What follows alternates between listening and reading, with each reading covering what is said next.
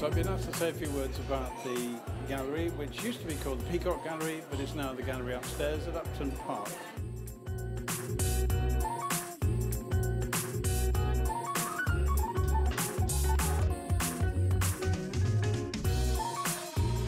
The special thing about this gallery is that it's uh, run by a group of people from the Poole and East Dorset Art Society. Some of the members have set themselves the task of being responsible for the gallery. That means they take the bookings and it's booked ahead some two years, I should think.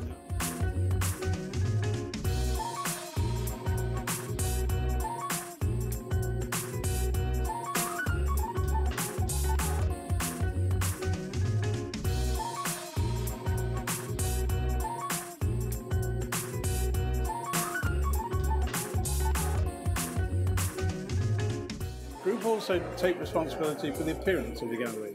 So it's always looking extremely proficient, it's always looking smart, uh, well lit. They have introduced new lighting and they take uh, great care to make sure that the gallery is looking smart, ready for the next income.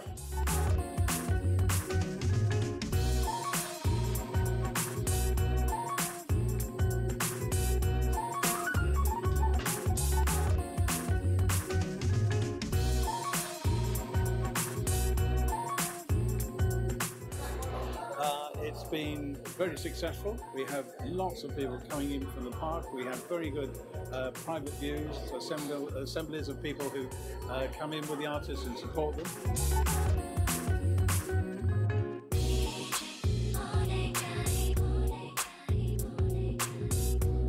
The interesting thing about it is that uh, this is really Poole Borough Council's job, and they've allowed us to do it for them on their behalf, uh, which works extremely well.